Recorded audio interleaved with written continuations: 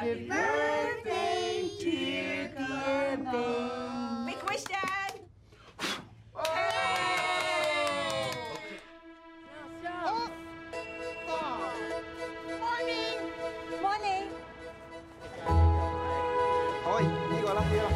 Now, what else are we celebrating today? Well, we came. We to came this- from Hong Kong on my birthday to make a better life for our children. None of this would have happened if I hadn't met your mother. I wasn't worthy of you then, and I'm still not worthy of you now.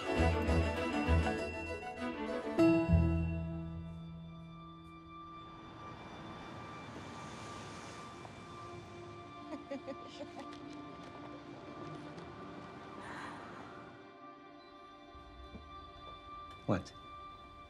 What? Nothing. Hey, what's the rush, eh? I want the job.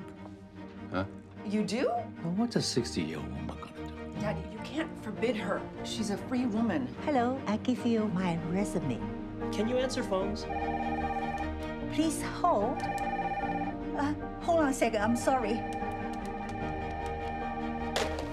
Can you tell me how to sell parking space? Okay.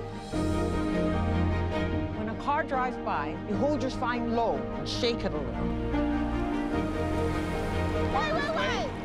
Wait, don't have! You don't own ah! Hold on. Hold on. Are you having a midlife crisis? You see the brown car? Follow.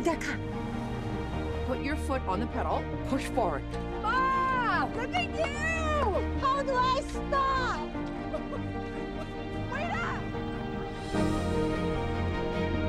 First, we obey our fathers, then our husbands. When they're gone, we obey our sons.